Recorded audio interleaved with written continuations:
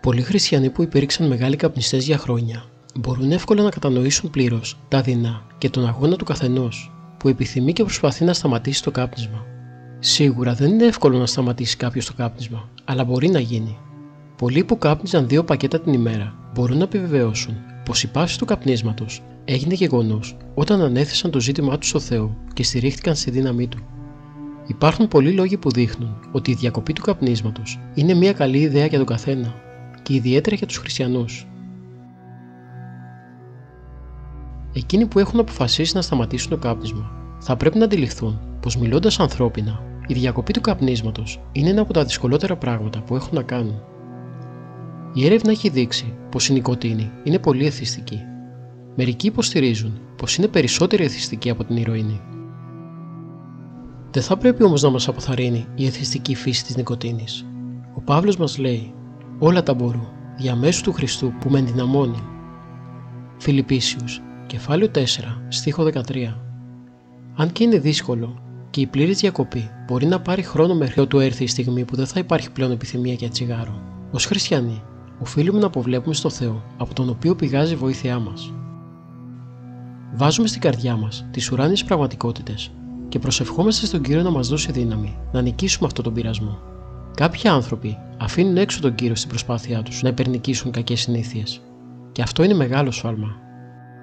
Η προσευχή βοηθάει σε περιστάσεις σαν αυτές και καλούμαστε να φέρουμε αμέσως τα προβλήματά μας στο θρόνο του Θεού και σε αυτόν που μπορεί να τα λύσει. Εβραίους, κεφάλαιο 4, στίχο 16. Ενώ βασιζόμαστε στη δύναμη του Αγίου Πνεύματος, δεν σημαίνει απαραίτητος ότι η ιατρική αντικαπνιστική βοήθεια δεν μπορεί να αξιοποιηθεί ταυτοχρόνως. Πολλοί έχουν λάβει σημαντική βοήθεια χρησιμοποιώντας έμπλαστρα, τσίχλες, χάπια κτλ. Μετά από προσευχή και συμβουλή γιατρού, αν ο Θεός σου δίνει ειρήνη σχετικά με τη χρήση κάποιας αντικαπνιστικής βοήθειας, δεν υπάρχει βιβλικός λόγος να την αρνηθείς. Ο Θεός έχει διακηρύξει ότι η χάρη του είναι επαρκής. Β. Κορινθίου, κεφάλαιο 12, στίχος 9. Εκεί που εμείς είμαστε αδύναμοι, εκείνος είναι δυνατός. Η επιθυμία μας για το τσιγάρο θα ελαττωθεί, καθώς αυξανόμαστε και παίρνουμε δύναμη από τον κύριο. Η δύναμη του Θεού θα εργαστεί μέσα μας, καταπραίνοντάς μας την πίεση του καπνίσματος. Και όλη η δόξα ανήκει στο Θεό. Ο Θεός θα μας δώσει τη δύναμη να θέσουμε τον Χριστό πρώτο και τον εαυτό μας τελευταίο.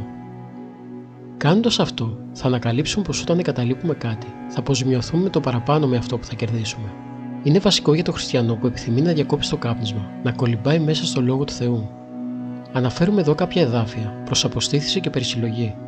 Εδάφια που βοήθησαν άλλους να νικήσουν την εξάρτηση του καπνίσματος. Ιωάννης, κεφάλαιο 8, στίχο 32. Θα γνωρίσετε την αλήθεια και η αλήθεια θα σα ελευθερώσει. Ιωάννης, κεφάλαιο 8, στίχο 36. Αν λοιπόν ο Υιός σας ελευθερώσει, θα είστε πραγματικά ελεύθεροι. Α Κορινθίους, κεφάλαιο 6, στίχο 19-20.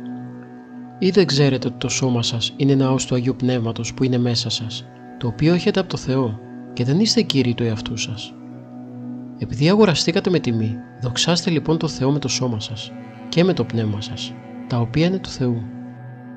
Και εμείς λοιπόν, καθώς είμαστε περικυκλωμένοι από ένα τόσο μεγάλο σύννεφο μαρτύρων, ας απορρίψουμε κάθε βάρος και την αμαρτία που εύκολα μας περιπλέκει και ας τρέχουμε με υπομονή τον αγώνα που είναι μπροστά μας.